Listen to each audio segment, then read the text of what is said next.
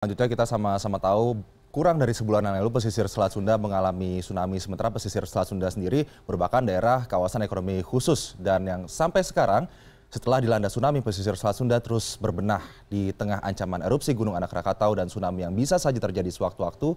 Lalu bagaimana kelanjutan usaha-usaha di sana? Kita simak laporan dari Inesa Ayuniza berikut ini.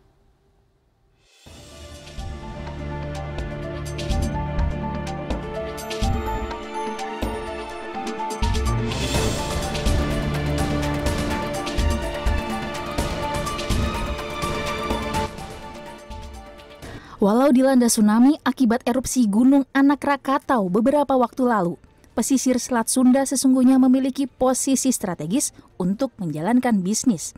Berdasarkan data pemerintah Provinsi Banten, terdapat industri skala besar dan kegiatan bisnis potensial lain yang dilakukan di zona tersebut. Antara lain, industri kimia di Cilegon dan kawasan bisnis pariwisata di Tanjung Lesung. Tanjung Lesung dipilih oleh pemerintah sebagai salah satu kawasan ekonomi khusus berbasis pariwisata. Berdasarkan data Dewan Kawasan Ekonomi Khusus Republik Indonesia butuh dana 1,7 triliun rupiah untuk membangun kawasan ekonomi khusus tersebut di tengah ancaman erupsi Gunung Anak Rakatau dan juga tsunami.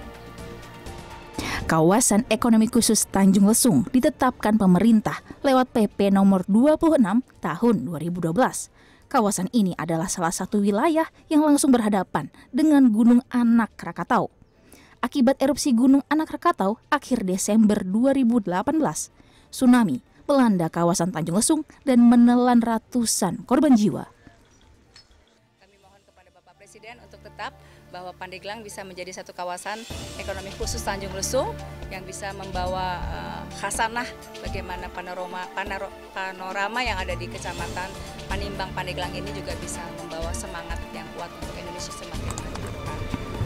Dewan Kawasan Ekonomi Khusus Republik Indonesia memprediksi jika kawasan ekonomi ini terrealisasi akan mendatangkan investasi sebesar 92,4 triliun rupiah hingga 2025. Di pesisir Selat Sunda lain yaitu di Cilegon, industri kimia berdiri besar.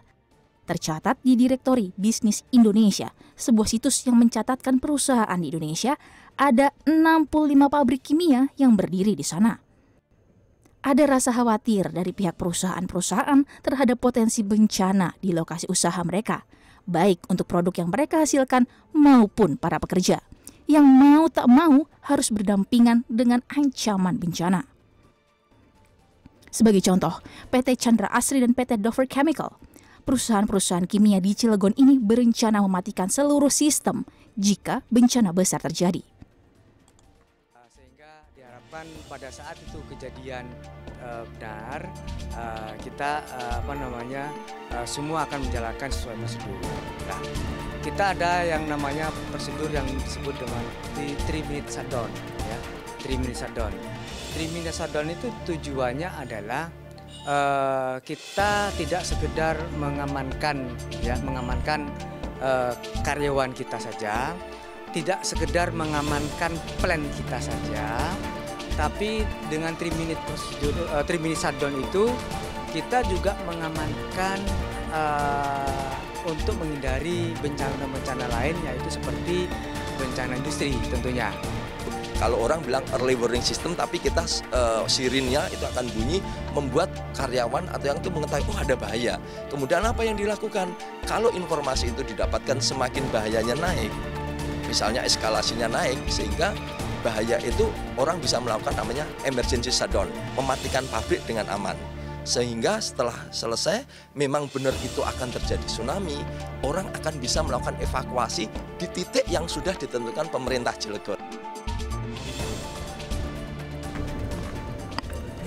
Di tengah ancaman bencana besar, bisnis harus tetap berjalan. Kedua perusahaan pun mengandalkan asuransi untuk menanggulangi kerusakan jika terjadi bencana. Sebagai informasi, industri kimia di Cilegon merupakan bagian dalam program Revolusi Industri 4.0 Kementerian Perindustrian RI yang dibuat untuk meningkatkan daya saing industri nasional di level internasional. Inesa Yuniza, Banten.